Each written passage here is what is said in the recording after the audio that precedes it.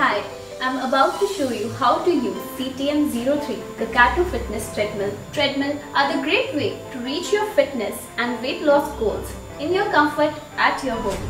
So let's start. Attach the safety key to your clothes. Press the start button to start the treadmill.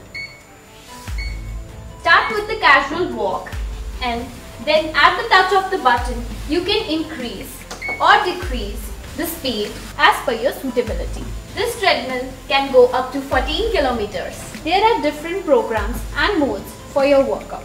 The 5.5 inches LED displays shows time, distance, calories, pulse, speed and body fat. These bars used to measure the pulse of the body. The console has different functions like USB input, SD card input, aux input so that you can listen to your favorite music while workout. Treadmill has multi-shocker reduce function. The treadmill can be stored anywhere in your home and can be reassembled in one easy motion with one fold.